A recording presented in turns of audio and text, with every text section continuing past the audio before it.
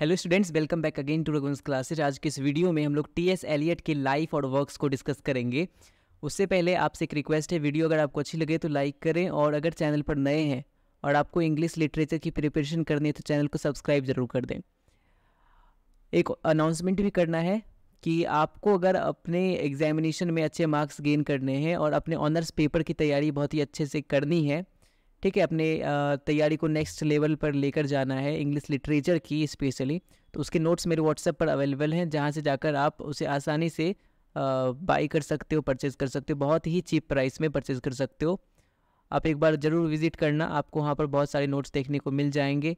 आप sample notes भी वहाँ से एक्सेस कर सकते हो। आप पहले नोट्स के सैम्पल्स देख सकते हो। अगर आपको पसंद आए तो आप उसको परचेज करना। अदरवाइज़ आपके पास बहुत सारे ऑप्शन हैं। आपके प्रिपरेशन को ध्यान में रखते हुए बहुत सारे एक्सपर्ट्स ने मिलकर इस नोट्स को तैयार किया है। तो आई थिंक आपके लिए बहुत ही ज़्यादा हेल्पफुल होगा। वापस आते हैं अपनी वीडियो पर। और सबसे पहले देख लेते हैं कि टी एस एलियट कौन थे। Who is T S Eliot T S Eliot was renowned American born British poet T S Eliot कौन थे? एक पोइट थे समझ, सबसे पहले प्ले राइट थे और एसेइस्ट थे, ठीक है? पोइट प्ले राइट और एसेइस्ट थे और एक लिटरेरी क्रिटिक भी थे। उनका जो जन्म हुआ था, वो अमेरिका में हुआ था, लेकिन बाद में उन्होंने ब्रिटिश सिटीजनशिप ले ली थी, जिसके बाद वो एक ब्रिटिश पोइट बन गए, ठीक है? अब इनके बारे में कुछ और जानकारियाँ हैं, जो कि आपके एग्ज़ाम पॉइंट ऑफ़ व्यू से बहुत ही ज़्यादा इंपॉर्टेंट है, चलिए उनको देख लेते हैं।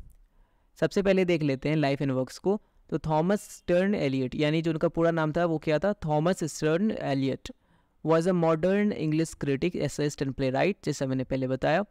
And he was born on September twenty six eighteen eighty eight ये आपको ध्यान में रखना है। बर्थ ईयर आपको ध्यान में रखना है और बर्थ प्लेस ध्यान में रखना है। यानी उनका जन्म कहाँ हुआ था? यूनाइटेड स्टेट के मिसौरी सिटी में हुआ था। और बर्थ ईयर की अगर बात करें 1888 उनका बर्थ ईयर था। दोनों इंपॉर्टेंट है। ऑब्जेक्टिव क्वेश्चन और एम जो होते हैं, इससे पूछे जाते हैं एग्जामिनेशन में। उसके बाद क्या है? Eliot grew up in a prominent and intellectually inclined family ठीक है मतलब इतना समझ लीजिए कि उनका जो फैमिली था, एक लिटरेट फैमिली था, एक पढ़ा लिखा परिवार था और वेल टू डू फैमिली से वो बिलोंग करते थे। At school he was considered a brilliant student और स्कूल पर अगर बात करें तो टी एस एलियट को एक ब्रिलियंट स्टूडेंट के रूप में देखा जाता था।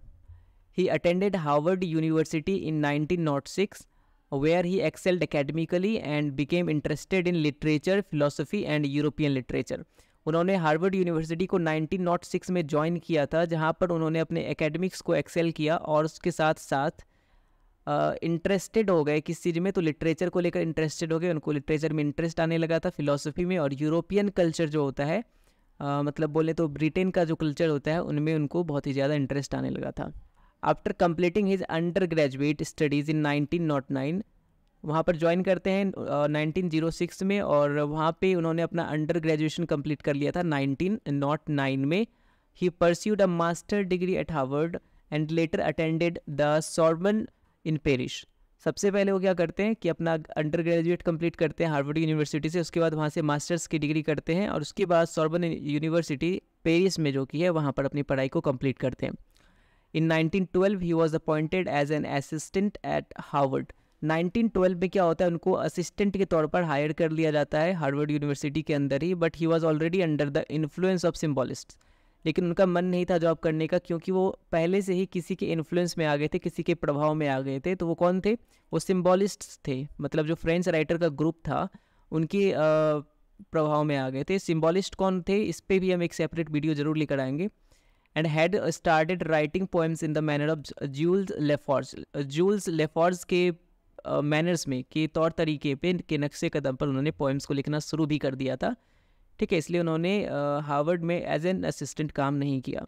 ऑब्जेक्टिव पॉइंट ऑफ़ व्यू से देखें तो उनके फादर का नाम हेनरी वेयर एलियट था और उनकी मदर का नाम शार्लेट स्टीर्न था। यानी उनका जो पूरा नाम था थॉमस स्टीर्न एलियट इसमें स्टीर्न्स और एलियट ये उनके फादर और मदर यानी उनके पेरेंट्स के नाम से लिया गया था। अब आगे बढ़ते हैं और जानते हैं उनके बारे में क्या कुछ स्पेशल है। तो इन 1914 ठीक है? Went to England where by gradual process he settle down 1914 में वो इंग्लैंड जाते हैं, जहाँ पर वो ग्रेजुअल प्रोसेस का मतलब होता है समय के साथ।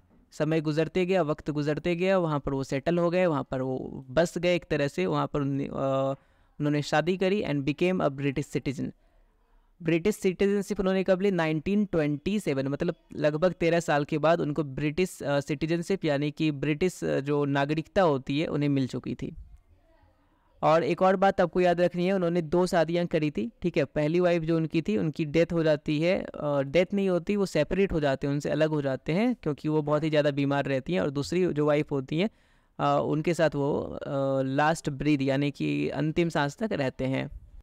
In 1915 his the love song of J Alfred Prufrock यानी उनका जो पहला एक था, बोल सकते हैं बुक फ़र्स्ट मेजर वर्क था उनका love song of J Alfred Prufrock वो पब्लिश हुआ था 1915 में। ठीक है? It was his first major work उसके बाद in 1917 he became the editor of Egoist वो एज एन एडिटर काम करते हैं 1917 में। एगोइस्ट एक मैगज़ीन था। ठीक है? लंदन लिटरेरी मैगज़ीन जो कि लंदन में लंदन का एक मैगज़ीन कंपनी था। लिटरेरी था, यानी कि वहाँ पर साहित्यिक कार्य होते थे। और उससे जुड़े हुए न्यूज़ेज़ या फिर जो भी मैगज़ीन में होते हैं आर्टिकल्स उसमें डाले जाते थे, वहाँ पर उन्होंने एडिटर के तौर पर काम किया and in the same year और उसी साल ही also worked as a clerk at a bank in London और वो लंदन में एक बैंक में क्लर्क के तौर पर भी काम करते हैं, उसी साल, ठीक है?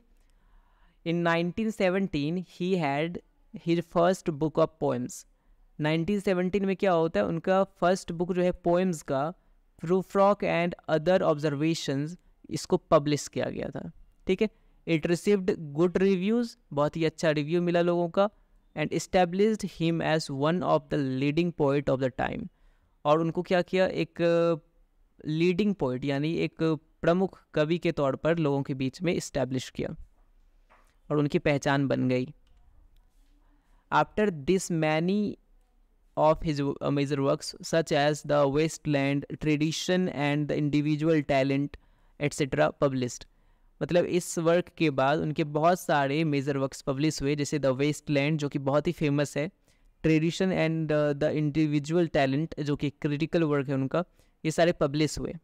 आपको यहाँ पर ध्यान रखना है, जिस जो भी वर्क्स है, मैंने उसके सामने उसका पब्लिशिंग ईयर लिखा हुआ है, ये भी आपको ध्यान में रखना है। जब आप नोट्स बनाओगे या फिर जब आप इस पीडीएफ को मेरे टेलीग्राम चैनल से जाकर डाउनलोड करोगे तो आपको इन सारी चीज़ों को हाईलाइट करके रखना है।